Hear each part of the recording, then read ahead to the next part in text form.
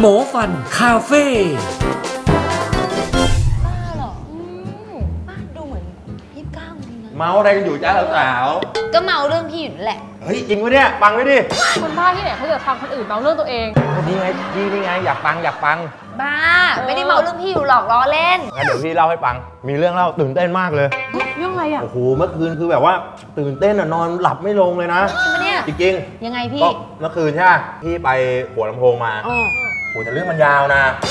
โอ้ยก็พูดมาเถอะนะ พูดมาขนาดนี้แล้วว่าเออเกิดมาขนาดนี้อ้าวทำอะไรกันอยู่ครับว้าวสวัสดีครับพี่ตูนโอ้ยเนี่ยก็รอพี่ด่ายึกยักยึกยักอยู่นั่นแหละจะเล่าเรื่องให้ฟังก็ไม่ยอมเล่าสักทีหนึ่งเรื่องอะไรอะเมื่อวานพอผมไปหัวลำโพงใช่ไหมไปซื้อตั๋วรถไฟปั๊บเฮ้ยเสร็จอะไรอะเสร็จแล้วคนมาปื้มเลยคนมาเยอะมากเลยทำไมมีคนขโมยกระเป๋าตังค์เหรอเฮ้ยเปล่า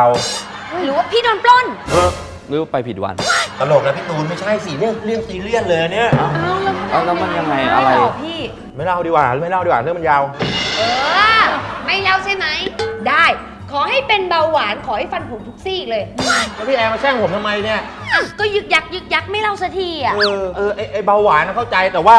กินน้ำเนี้ยแล้วมันจะฟันผุเกี่ยวอะไร เออ เกี่ยว ไม่เกี่ยวครับผม เกี่ยว ไม่เกี่ยว เกี่ยว ไม่เกี่ยว เกี่ยว ไม่เกี่ยว เอาหยุดก่อนหยุดก่อนฮะ เถียงกันไม่ได้ความไปถามหมอดีกว่าครับแฮ่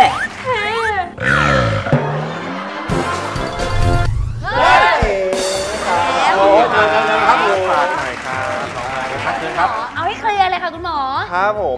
คุยกันเรื่องน้ำอัดลมอยู่ใช่ไหมครับใช่ค่ะ โอ้ยเดี๋ยวหมอเล่าอะไรให้ฟังนะครับ เฮ้ยดีดีดีดี ค่ะ ไม่เล่าแล้วดีกว่าครับ เรื่องมันยาวโอ้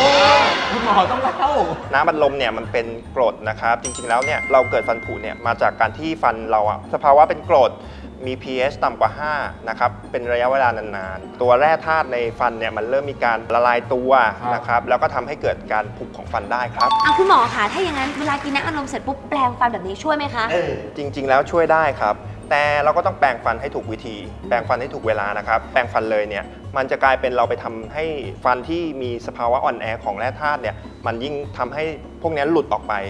เพราะฉะนั้นเนี่ยเราต้องควรจะแปรงฟันหลังจากที่ทานน้ำบัดลมเนี่ยประมาณสัก 20-30 นาที ใช่ หรือเราอาจจะทานน้ำนะครับ เพื่อให้มันชะล้างความเป็นกรดไปก่อนก็ได้ครับ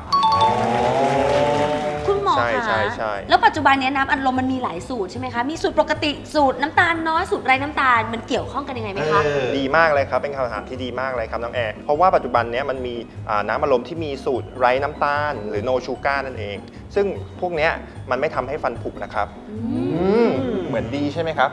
แต่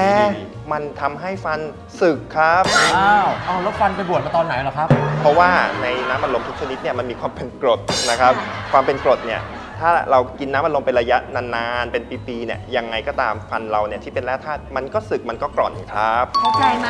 เข้าใจแล้วครับ ฟันจะเป็นพิษอะคืออะไรอะก็เพิ่งศึกมาไงงงเวลาอ๋อแบบว่าคนผมอยู่ตรงกลางนะเออคนมารุมผมเยอะๆมากๆ โอ้โหเท่านั้นแหละไม่เอาดีกว่าเรื่องมันยาวเรื่องเล่ามันจะยาว แต่ถ้าอยากฟันขาว ให้ฟอกสีฟันครับผมอย่างน้อยก็พร้อมใจ